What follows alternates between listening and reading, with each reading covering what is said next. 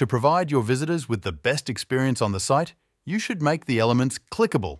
For example, buttons, navigation menu, social icons, phone numbers, etc., so that they direct your visitors to relevant sections. For that, you should link them accordingly. There are lots of different elements available in our gallery. Adding links to a text. Firstly, to make the text clickable, select it and click on the chain icon in the pop-up menu. After that, click on the gear near the opened field and access the settings. In the new window, select the needed click action from the drop-down menu. Adding links to a button. For that, click on the button and navigate to its settings by clicking on the gear in the pop-up. In the new window, go to the Action tab and select the needed click action from the drop-down menu. If there's no link set up for the button, you will see an exclamation mark next to it in the editor.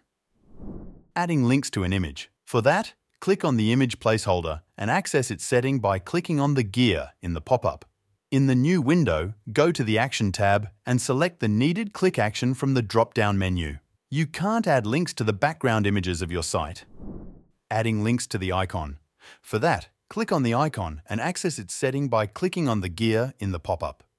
In the new window, navigate to the Action tab and select the needed click action from the drop-down menu. Add links to a shape in a flex block. Click on the shape and open the settings. Go to the Action tab and select the appropriate click action. Possible click actions. After you open the item settings, go ahead and choose the suitable click action from the drop-down menu. Learn the possible options and their functionality below. Scroll to block. This feature redirects users to a block on the same page of your site. To set it up, Choose the Scroll to Block option in the drop-down and select the needed block by its anchor name. You can also select the block visually on the site by clicking on the target icon. Open Page. This feature allows you to redirect visitors to another page of your site once they click on the element. To set it up, choose Open Page in the drop-down and select the needed page. Jump to block on another page. This option links an element to a particular block on another page of your site. To set it up, choose Jump to Block on another page, then select the page and specify the name of the block. Open Pop-up. This action allows you to open a pop-up window on your site when the visitors click on a particular element. To set it up, choose the Open Pop-up option in the Click Action field and select the needed window. This option is available for Pro sites only. Also, there's no way to link text elements to pop-ups yet. Web address. This action redirects your visitors to an external resource. To set it up, choose web address in the menu and paste the link with an extension like this. This option is available for pro sites only. You can also toggle on the option of opening the link in a new browser tab or set the nofollow tag for it. Phone. This feature allows you to add a link to a phone number.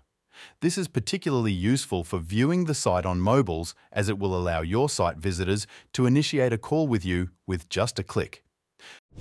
To set it up, choose the phone option from the menu and add the number, including the country code.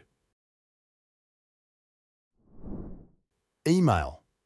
This option allows your site visitors to send you an email right from your site, provided that they have a mail service installed. To set it up, select the email action, paste your email address, and specify the subject that will be displayed in the email. This field is optional. File Download.